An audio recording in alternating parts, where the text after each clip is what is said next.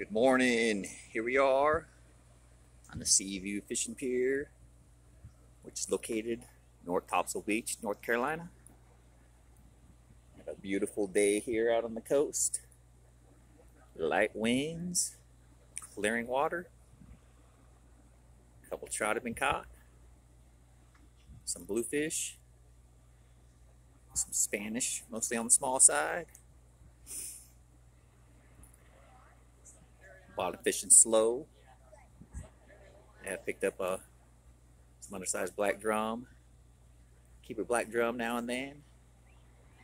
Over slot red. Some puppy drum. A decent sea mullet every now and then. Was decent slow fishing over the weekend upcoming week with northeast winds, we would expect it to be slow to decent, depending on what you're fishing for. So you might got a little action right here. Oh, a lizard fish.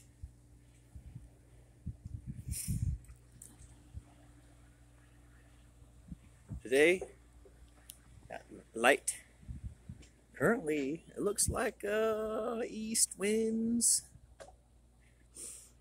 No groundswell coming in. Not much wind wave. Not much white water on the beach. Water is nice calm. So we get northeast winds some more this week? It should help cool the water down. Should help get the bite going. Several guys king fishing so far, no action on the king rigs. I think they did pick up a couple Spanish yesterday. With this clean water and the availability of bait, we should catch some fish. But expect as the water temperature starts cooling down, as it drops down to 78, 76, the fishing should pick up real good. Currently, uh, water temps 79. Still summertime. No bait running the beach yet. We keep an eyeball out for the bait. The hard-head mullet should be running soon. Once the mullet start running down the beach, I would expect bluefish and Spanish to be getting caught decently, or good, decent to very good. I think once we start seeing the mullet run down the beach, you could expect the bottom fishing also to pick up since that's a sign the fall migration has begun.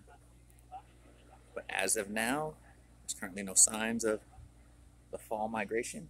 Got nice clean water. Take a look at the pole we always take a look at. I think the water visibility is like four or five feet currently. Take a look at the pole we always look at. Where's the pole right here? It's kind of high tide. You see a little sheep's head on the pylon. I'm not sure if you can see it. Water visibility is four or five foot. A lot of little glass minnows around the pier. Fishing could get good. Getting set up for, for some good action. Temperature wise, real nice. It is starting to feel like fall. Now we just need the fish, fishing action to pick up. So if we start getting some action, let you know. Until then, a little on the slow side here on the Seaview Fishing Pier. But uh, we're get, gonna get into the season soon, and fishing's gonna keep picking up as uh, the days continue on. So we'll talk to y'all later.